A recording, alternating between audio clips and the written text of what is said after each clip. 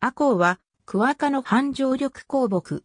海サプザーバの変種バリエーション、ジャポニカとされているが、フィークスサブピセカーペギャグネプとする説もある。樹高は約10から20メートル。樹皮はきめ細かい。幹は分岐が多く、枝や幹から多数の気根を垂らし、岩や露頭などに張り付く。新芽は成長につれ色が赤などに変化し美しい。葉は五星し、やや細長い楕円型で滑らかで艶はあまりなく、やや大ぶりで、約10から15センチメートルほどである。年に数回、新芽を出す前に短期間落葉する。ただし、その時期は一定ではなく、同じ個体でも枝ごとに時期が異なる場合もある。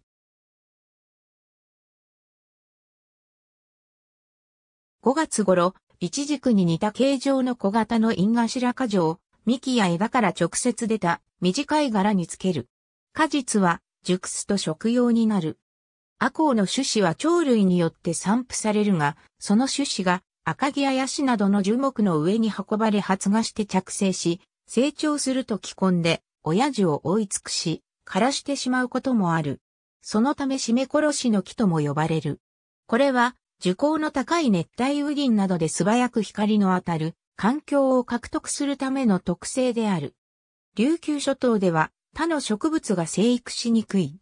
石灰岩地の岩場や露頭に気根を利用して着生し生育している。日本では紀伊半島及び山口県、四国南部、九州、南西諸島などの温暖な地方に自生する。日本国外では台湾や中国南部、東南アジアなどに分布している。主な低地に生育し、琉球諸島では石灰岩地にも生育する。暴風樹、傍聴樹、街路樹として利用される。沖縄県や鹿児島県奄美群島では、ヤシキリにも利用される。日本では、国の天然記念物に指定されている巨樹、古木も多い。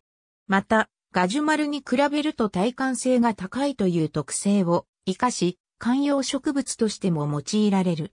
アコウ、植物園にようこそ。ありがとうございます。